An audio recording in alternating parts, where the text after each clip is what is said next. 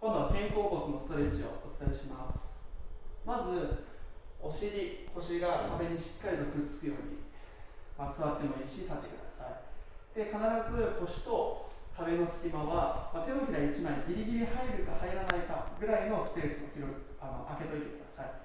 拳が入っちゃうぐらい広げちゃうとそれは反り腰になってくるので本当にギリギリ手のひらが入るか入らないかぐらいで結構ですで作ったらその状態のまま両手万歳して手の甲と肘を壁につけます。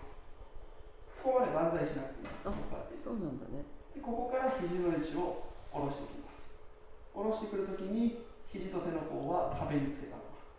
このまままた上に上げて